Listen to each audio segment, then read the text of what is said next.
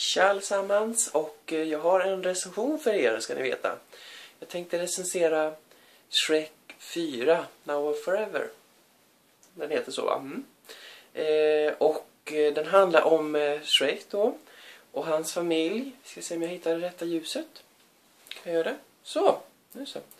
Eh, och eh, en kille som heter Bulleskaft.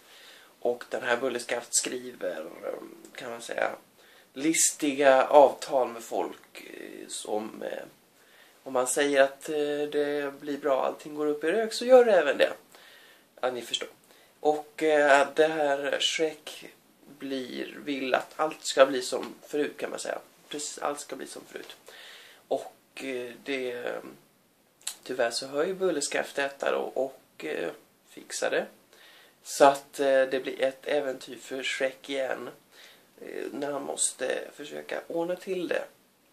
Och filmen är bra och den är bra inspelad. Det är en av de bättre Shrek-filmerna.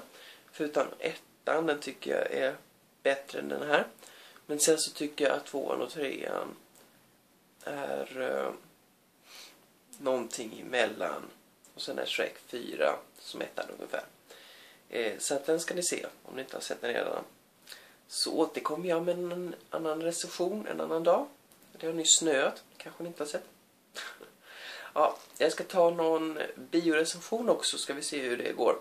Eh, får jag läsa på mig lite om det. Ja, men ha det så gott allesammans. Vi ses senare.